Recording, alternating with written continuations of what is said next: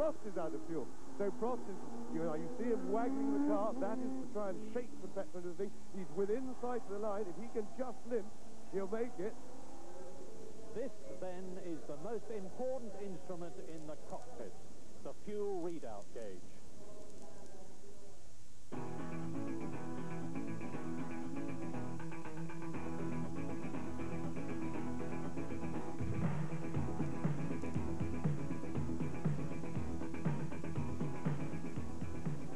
For Pit Bits, a new item in which we will be regularly updating you with all the news, gossip and rumours of Grand Prix racing.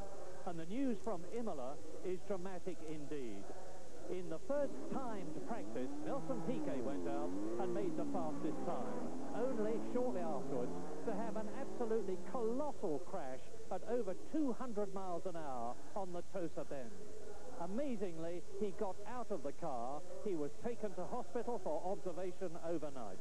He came back to the circuit yesterday and looked very fit and cheerful and was ready to race. What I remember, the car went complete sideways. And, uh, and after that, I tried to close my eyes. I feel I don't have any problem. I have some a little problem with my ankle, my left ankle, but I think I I can manage this for for the race tomorrow.